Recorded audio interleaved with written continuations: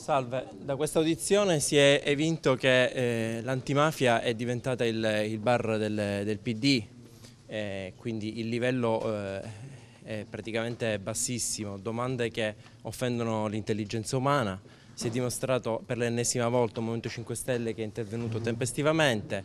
eh, è un uso veramente fazioso da parte dei partiti eh, della Commissione antimafia contro il Movimento 5 Stelle. Eh, ci teniamo a sottolineare che ci aspettiamo ora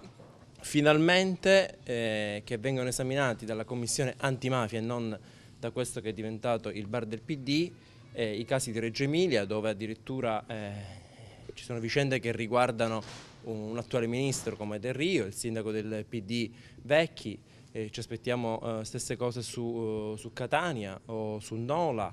eh, perché non è possibile che la Commissione antimafia chiuda gli occhi davanti a casi veramente clamorosi e concreti con fatti molto gravi e invece sia così attenta eh, davanti al caso di Quarto. Noi comunque a Quarto abbiamo dimostrato che non abbiamo